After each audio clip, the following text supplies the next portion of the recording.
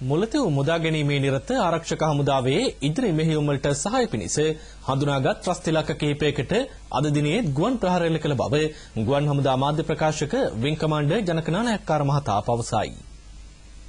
මුලතිව් ප්‍රදේශයට දකුණින් පිහිටි ත්‍රස්තවාදීන්ගේ ඉදිරි ආරක්ෂක වළල්ල සහ ඉරණමඩු වැවට නැගෙනහිරින් පිහිටි ත්‍රස්තවාදීන්ගේ මෝටාර් ස්ථානගත කර තිබූ ස්ථානයක් ගුවන් ප්‍රහාරවල ඉලක්ක විය.